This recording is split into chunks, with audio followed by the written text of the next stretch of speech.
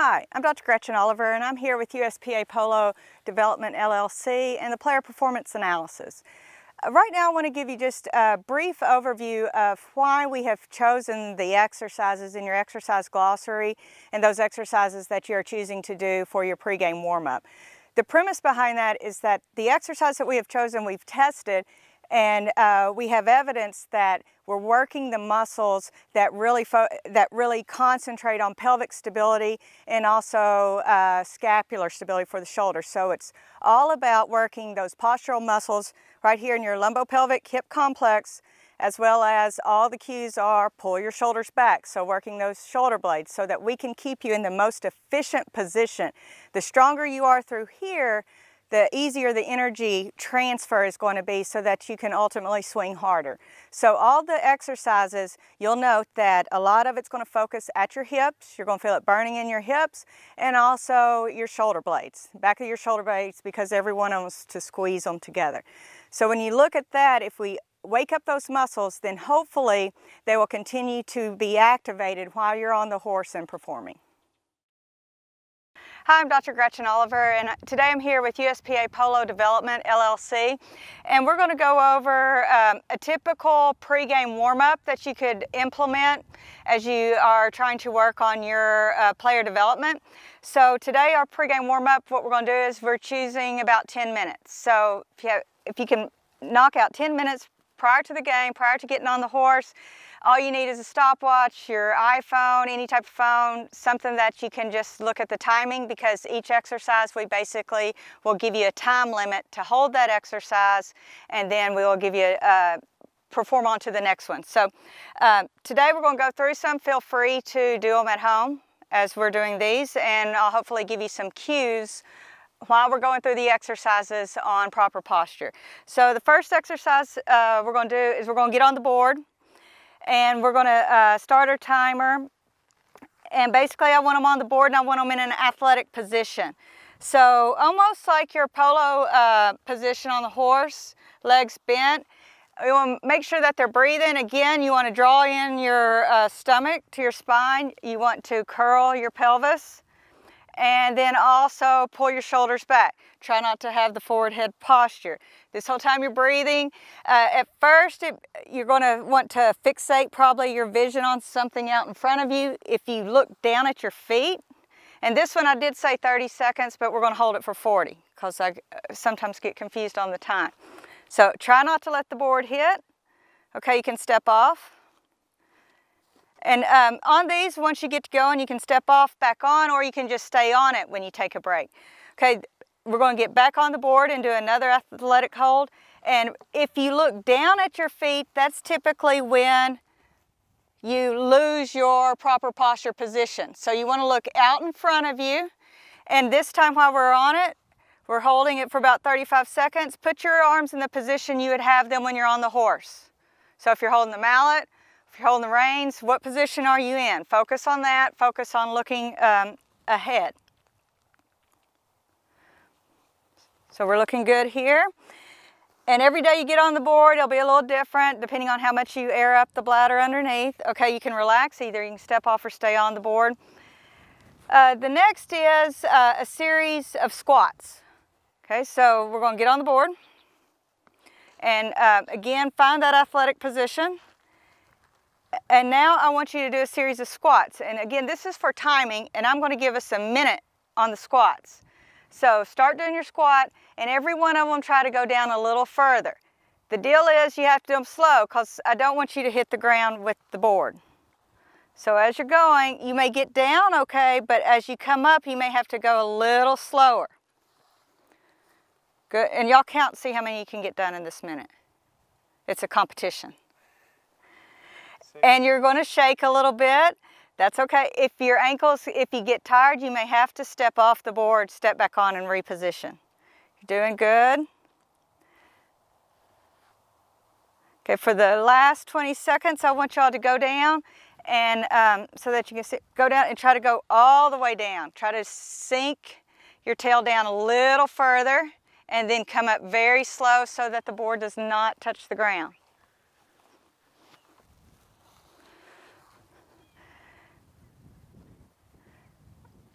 All right, good. Now y'all can step off after you complete that squat. to take a little break. Okay, um, this next one, what I want you to do is you're going to get on the board and then you're going to go down into your squat. So we're going to go down into our squat and then when you get as low as you can go, I want you to hold it there. So we're going to have a 30 second hold in our deep squat.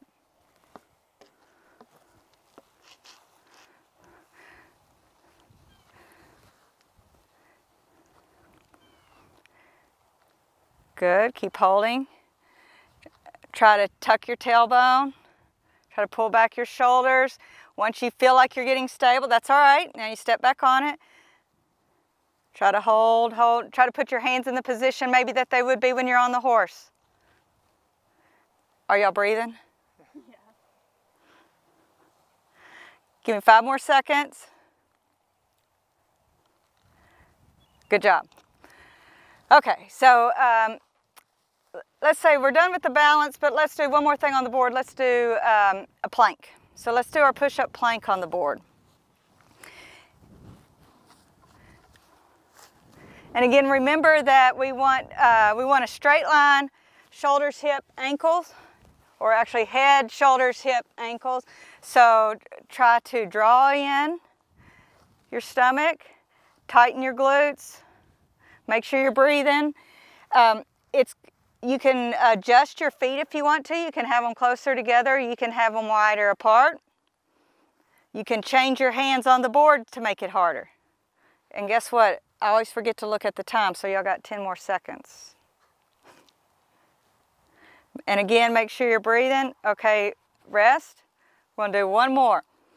The one more, um, I want you to try to move your hands a little in on the board. We were holding them out here. This is going to be a more difficult one. Try to have it push up about where the uh, words start.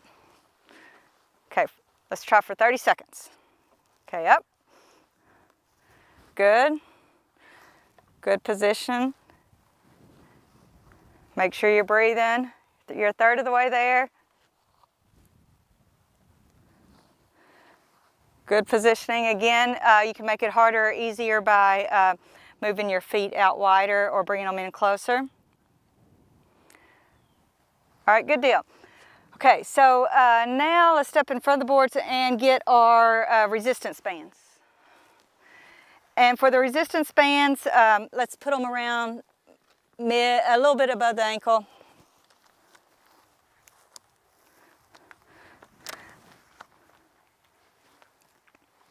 Okay, and for this one, uh, this is our hip abduction. So you're going to uh, stand on one leg and uh, try to drive that uh, foot into the ground, become a straight pole. So you're going to be straight here and then the leg that you're abducting, you're not trying not to hit the ground. So, and let's try not to lean to the side. And so we're going to do these consecutively for about 30 seconds. So try to get up a little, there, up a little straighter. That's it. If you need to bend your stance leg a little bit to be a little more athletic to move out, you can do that.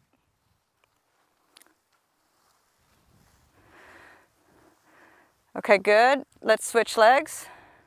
So now you're to have uh, your other leg as your stance leg again, and the uh, foot leg that you're moving, you don't want your foot to hit the ground. And try not to lean over so much.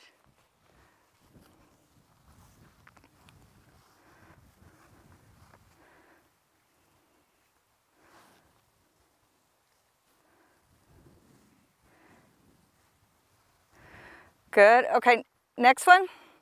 Um, you might need to take a step up from the board and we're going to do our basic abduction diagonal. So you're going diagonally back and out with these.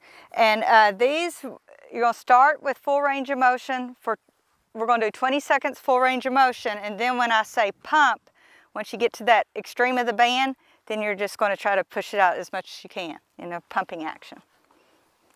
With these, try not to lean your body too much forward. Try to be stiff. Remember, draw in your belly button. Tighten that uh, pelvic region. Okay, now let's do pumps. So once you're out there, try to stabilize. Good. Really uh, drive your balance foot into the ground. Try to stay straight up. Good. Okay, rest. Burning a little bit? Okay, now the other leg. We're going to do diagonal back, full range of motion until I tell you to pump.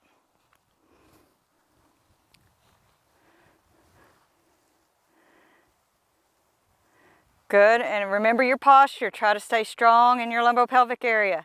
Draw in that belly button.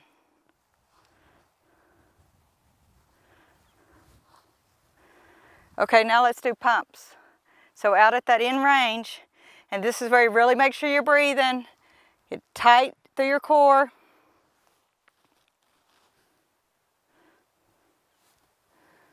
Good job. Okay, uh, let's do our pelvic bridges. So we're going to get on the ground and bridge up. And you can keep the bands on. Actually, we can um, put the bands on. We can slide them up above the knee.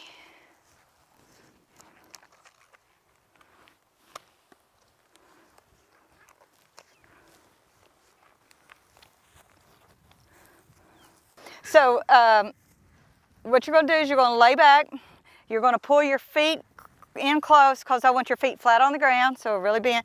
Okay, and uh, push them together. Okay, now we're going to bridge up. And this I want a straight line, uh, knees, hips, shoulders. There you go.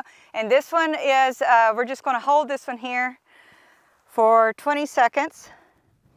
Uh, since y'all have the resistance bands on, if you were bored with holding it here, you could perform a clam. So you'd keep your uh, feet together and now you would clam out and slowly back. With the clams, you can, uh, once you get out to that resistance point, you could hold it back. When you do the clams though, I don't want to see you fall off your line. Okay, good job, drop down.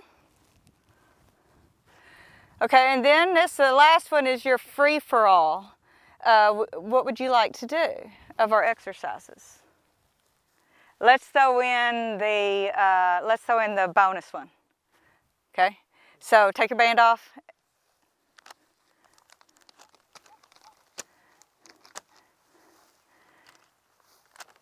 The bonus one is you're going to plank, you're going to get up into a push-up plank. And once you're in that push-up plank, then guess what we get to do? We're going to do abductions. You're going to do 12 on one side and then 12 on the other. And try not to rotate the body. Good. Try to sink down so you're more straight line. There you go. Once you get 12, then you switch legs. Very good.